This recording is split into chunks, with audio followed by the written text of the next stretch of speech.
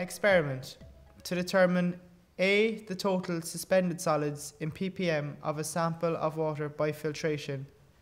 B. The total dissolved solids in ppm of a sample of water by evaporation. In part C, the pH of a sample of water will be measured.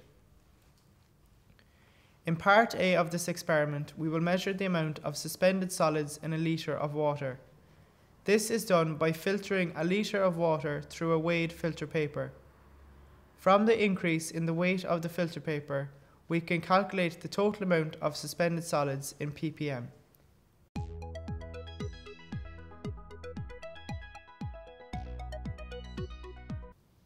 Part A to measure the total suspended solids. A volumetric flask has been filled to the mark with the sample of water. To save time, a 500 centimeters cubed volumetric flask is used in preference to a 1 litre flask. The mass of a filter paper is found using the laboratory balance.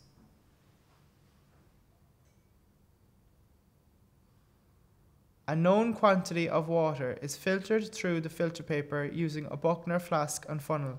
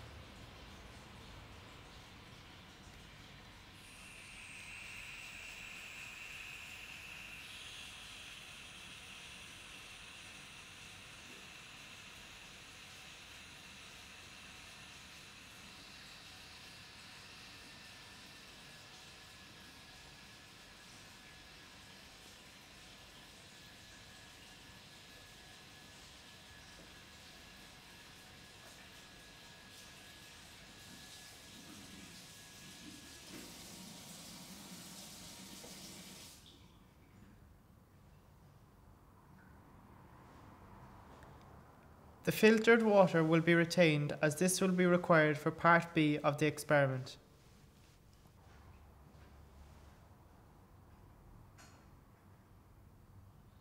Dry the filter paper by allowing it to air dry.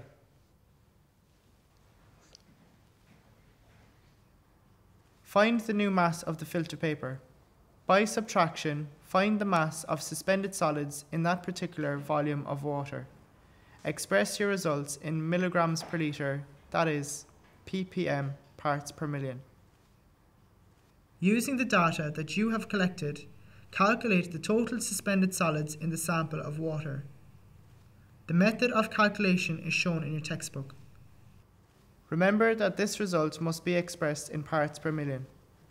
For your convenience, a blank table is supplied in the Folens laboratory notebook.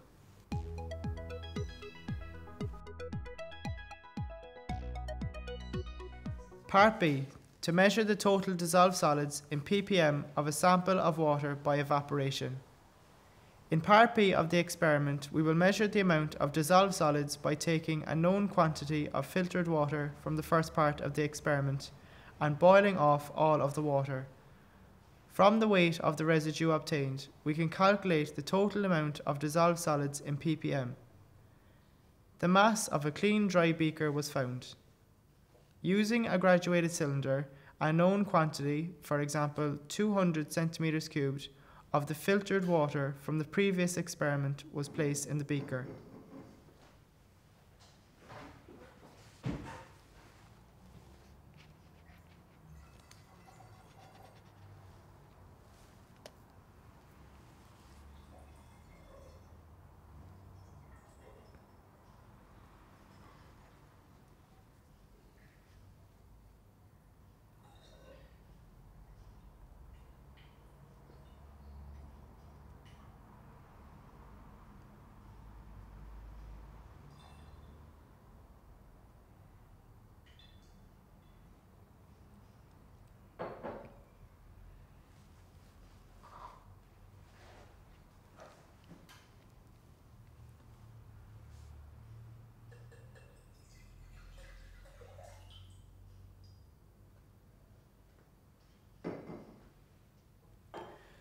Place the beaker on a hot plate and evaporate the water to dryness.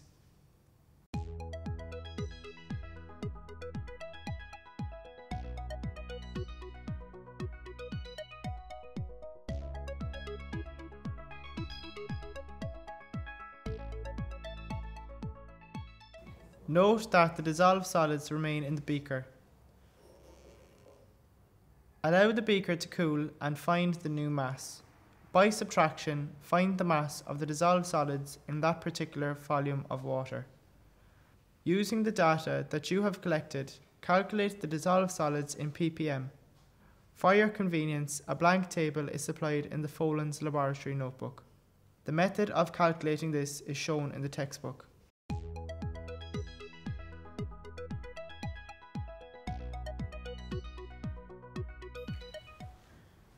Part C, to measure the pH of a sample of tap water.